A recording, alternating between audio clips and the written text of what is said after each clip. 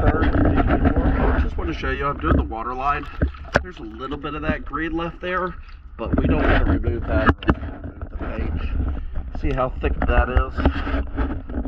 Right there. We got to rub pretty hard to get that off. Just want to let you know that I'll probably be back looking almost like that, probably about a week and a half, maybe two, just because the water's hot, but I want to show you.